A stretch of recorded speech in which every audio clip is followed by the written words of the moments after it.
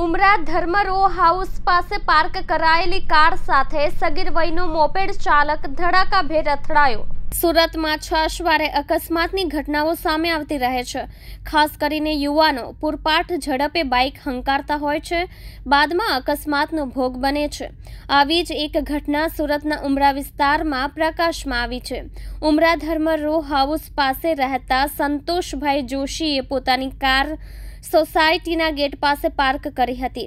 આ દરમિયાન ત્યાં એક બાઇક ચાલક પૂરપાટ ઝડપે બાઇક હંકારી આવ્યો હતો.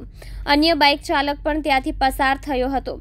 જેમાં સગીરની બાઇક સીધી કાર સાથે અથડાઈ હતી, જો કે સદનસીબે આ અકસ્માતમાં સગીરનો બચાવ થયો હતો. બીજી તરફ આ સમગ્ર ઘટના ત્યાં લાગેલા સીસીટીવી કેમેરામાં કેદ થઈ જવા પામી હતી.